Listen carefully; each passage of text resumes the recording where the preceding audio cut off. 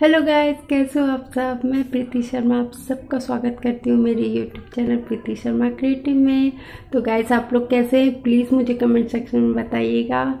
और सबसे पहले आप सबको हैप्पी मदर्स डे और मेरे सारे व्यूवर्स को हैप्पी मदर्स डे तो प्लीज़ गाइस आज के दिन मम्मी लोग के लिए बहुत स्पेशल बना दीजिए, ताकि वो हमेशा ये सोचे कि मेरे बच्चे कितना मुझसे प्यार करते हैं।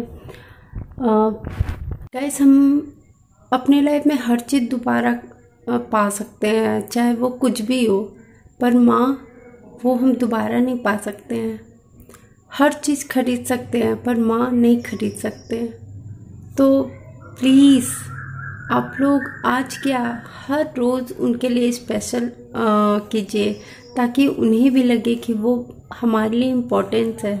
कभी कभी हम लोग ना डेली यूज़ में इतना मतलब डेली रूटीन में हम ना इतना बिज़ी हो जाते हैं खुद पे कि हमें ऑफ़िस जाना है कॉलेज जाना है जॉब करना है पढ़ना है। मतलब बहुत सारे काम रहते हैं हमारे लाइफ में दोस्त हैं, पर माँ को हम लोग उतना वैल्यू नहीं देते हैं, उतना इम्पोर्टेंस नहीं देते हैं जितना वो डिज़र्व करती है।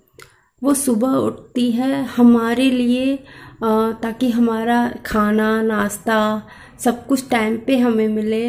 जब हम छोटे रहते हैं तो हमारा ख्याल रखती हैं क्या हमें चाहिए, क्या नहीं चाहिए, वो सब कुछ हमारा ध्यान रखती है। तो गैस अभी हमारा ड्यूटी बनता है कि हम उनका ख्याल रखें, क्या उन्हें अच्छा लगता है, क्या नहीं अच्छा लगता है। ये छोटी छोटी चीज़ों से उन्हें खुश कर सकते हैं।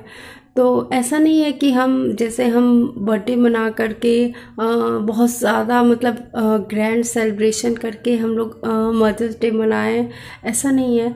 हाँ माँ के साथ थोड़ा सा टाइम बिताएँ, उनका दुख सुख हम लोग सुने, उनका क्या तकलीफ़ है, वो हम लोग के साथ वो शेयर करेगी तो वो खुद ही अच्छा फील करेगी।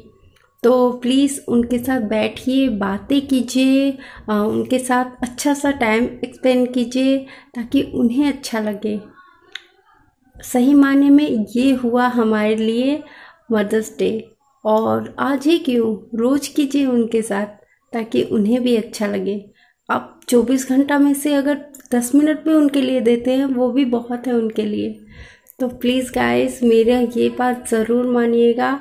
और प्लीज़ मुझे कमेंट सेक्शन में बताइएगा कि आप लोग कैसे मदर्स डे सेलिब्रेट किए अपनी मम्मी लोग के साथ कैसे टाइम बिताएँ और क्या क्या किए।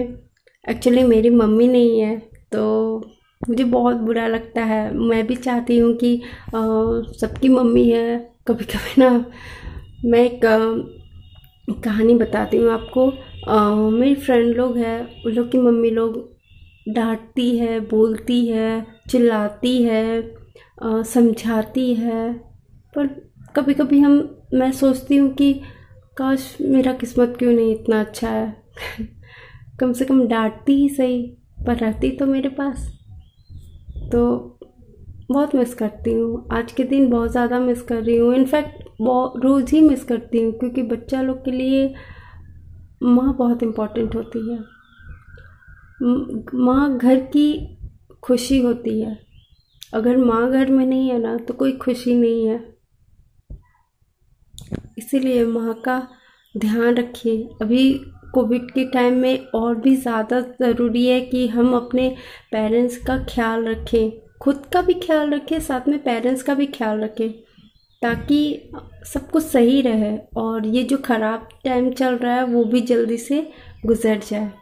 तो प्लीज़ गाइस आप लोग घर पे रहिए सेफ़ रहिए, सुरक्षित रहिए और मदर्स डे मनाइए अपनी मम्मी लोग के साथ और थोड़ा सा आप लोग मुझे भी आशीर्वाद दीजिएगा थैंक you.